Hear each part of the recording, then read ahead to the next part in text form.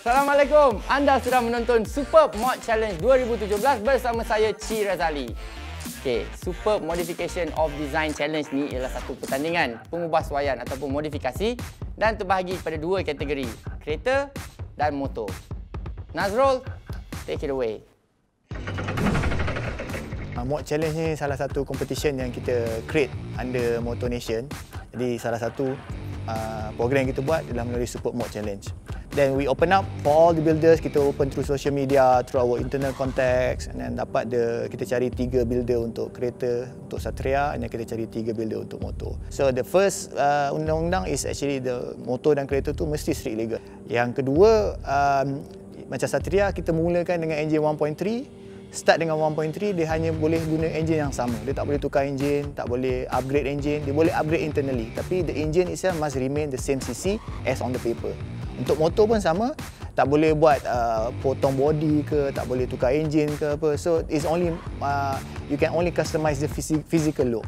Uh, and then the third one that kita ada time frame dalam masa sebulan uh, kita bagi uh, the builder tu dia kena siap untuk kita punya final dekat Motor Nation. Jadi itulah dia syarat-syarat dan peraturan pertandingan Super Mod Challenge 2017.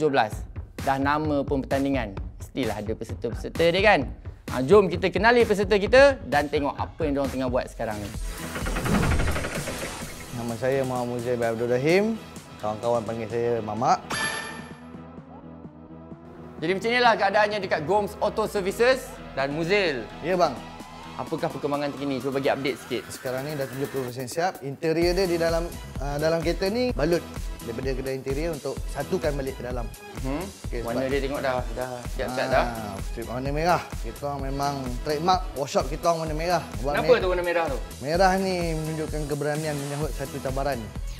Apa-apa cabaran insya-Allah kami akan cuba sahut Ni enjin ni apa semua ni? Okey, ini gearbox. Kita orang refurbish balik gearbox ni, check bearing dia semua, gear sinkro apa semua supaya gear smooth bila kita tukar gear. Proses terusnya mungkin kami akan hantar detailing lah hmm. untuk finalizekan kereta ni ready pergi ke mode challenge PICC. Ini dia punya engine performance pun dah mantap. Okay, so far memang nampak progress dia terbaik. So Muzil, okay, all the best kita jumpa kat PICC nanti. Baik. Baik, Assalamualaikum.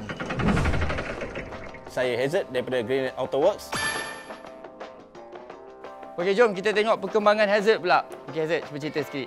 Okey, ini adalah Satria 1.3. Okey. Standard, stock standard. Okey, kita masa yang terhad dan bajet juga terhad. Uh -huh. uh, engine kita restore balik. Okay. Kita repair apa yang boleh patut.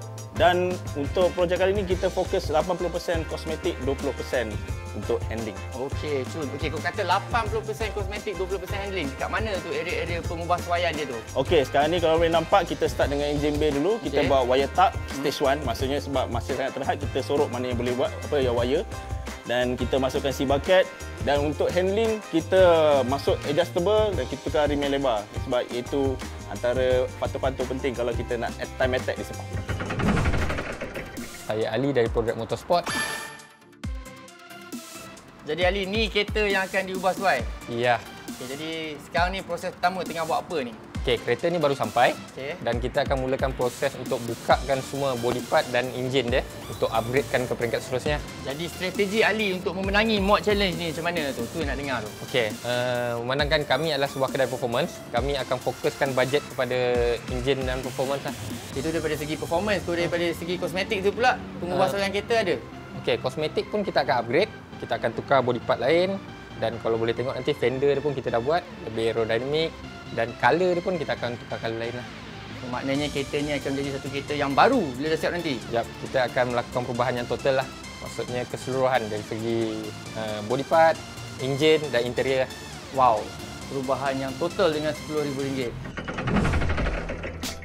Baiklah, kita jumpa nanti di Finals Motor Nation 2017 di PICC Putrajaya pada 1, 2, 3 Disember dan sama-sama kita tengok hasil karya mereka-mereka ini.